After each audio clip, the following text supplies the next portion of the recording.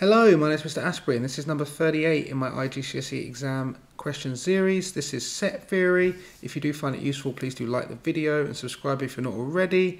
And let's get into the maths. Okay, um, we are asked to work out the union of B and G. So that means any any letter which is in B or in G. So there's going to be loads. The union is very inclusive. So we're going to have B, L, U, and E. And we're also going to have uh, G, R, E, and Y. But we're not going to write E twice because it's already occurred. So we're just going to write it like this. Next, we're looking at an intersection, which is very exclusive. You have to be in both of these two sets for us to write down um, uh, the elements. So you have to be in W and you can't be in G. So which are the ones that are in W but not in G? Well, W is, H is, um, I is, T is, uh, but E, no, that's in G, so it's not not in G, so it can't be in our um, in our set. So it's just these ones. Okay, Sienna writes down the statement that the intersection between B, G and W is empty. Is that correct? Well, are there any letters which are in B, G and W? And the answer is yes, there is. E is in all three. So the statement is wrong. And that's because E exists in B and G and W. Okay, next question, and we have a universal set here, so be very careful. We can only select from these numbers from 1 to 10. And it says explain why the intersection between B and uh, A and B is empty. Well, that's because there are no elements in A and B. So there are no elements in both A and B. And then this says that X is in the universal set. Okay, so it's a number between 1 and 10. And X is not in the union of A or B. So it's not in A or B. So what could X be? It's not in A or B, but it is in the yellow numbers. So the numbers it could be a 1 and 9.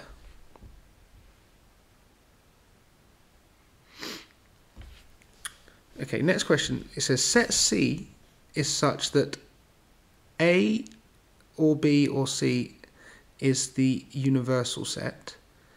So that means that um, that each number in yellow is in one of A, B or C and A intersection C is equal to 2. So that means that A and C share the, um, the element 2. So that means C must have 2 in it. And this says that B intersection not C is equal to 4, 6 and 10. So that means that 4, 6 and 10 can't be in C. So another two elements that must be in C are 1 and 9. And that is because they're not in A or B, but we've said here that A, B and C cover all of the uh, yellow numbers. And finally, the last number which is going to be in C is quite a tricky one to spot. It's going to be the number 8. And the reason why is because 8 is in B. And if it was not in C as well, then it would be part of this set here. But it's not part of that set, which means that it must be in C. Okay, we have a Venn diagram here, and it says write down the numbers that are in set A. Uh, well, we've got 4, we've got 2, we've got 12, we've got 6, and a lot of people miss out 1 and 3, but 1 and 3 are in A because it's everything inside this circle here. Um, B union C, so that's everything which is in the B circle and in the C circle. Uh, sorry, in the B circle or in the C circle. So we've got 1, 3, 11, 7, 9, 5 and 10. It says Brian writes down a statement that A intersection C is empty. Is he correct? Well, yes, he is correct because there are no elements which are in A and C simultaneously because C is all the way over here and A is all the way over there. So the answer is yes. Um, A and C do not intersect.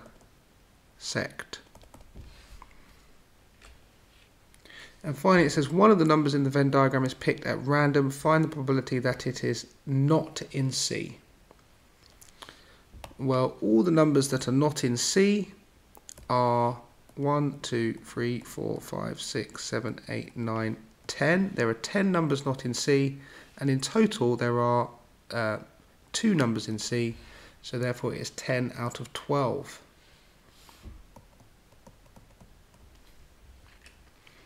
Okay, this next question is a bit different, and that's why they highlight this word here, that each of these numbers here are not elements themselves, but they represent how many elements are in each of the sections. So therefore, there are three elements that are in the intersection of A and B. And it asks you for the number of elements that are in the union of A and B. Well, the union is everything which is in A or B, so it's everything inside this circle here, and that will be 7 plus 3 plus 8 plus 1, which is 19. Okay, the next question is asking us to uh, find the intersection between not A and C. So I'm looking for all the elements which are not in A and are in C. That's bit of a trick question really because those are just all these elements in here. Um, because they have to be in C and they have to not be in A. So these are the only ones which are in C and are not in A. So it's 1 plus 4, which is 5. And next we have the number of elements which are not in A or not in B. Okay, well, this is very tricky. Okay, not in A. You guys are in the um, the set because you are not in A, and not in B. And you guys are not in B.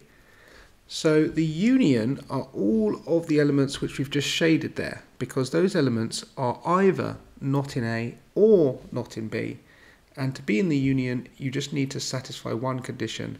So either or is acceptable. So we have 7 plus 8 plus 1 plus 4 plus 9, um, which is 29. Okay, so on the Venn diagram, shade the set, which is A union B, not.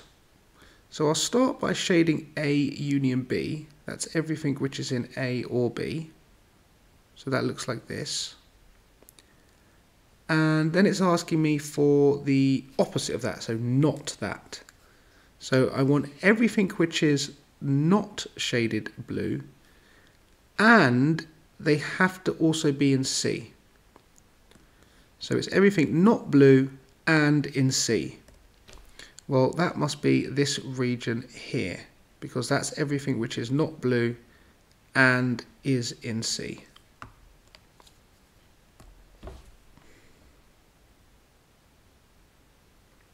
And now we're asked to shade um, to describe this region well, this region is in this union and that is the union of D and E. So the union of D and E, but it has to be in F as well. So it's the intersection of these two sets that I've just drawn here. It's the intersection of the blue union at the top and the set F. And where those two sets collide is the shaded region. Okay, I hope you found that useful. If you did, please do like the video and subscribe if you're not already. And then check out my next video in the series. Bye for now.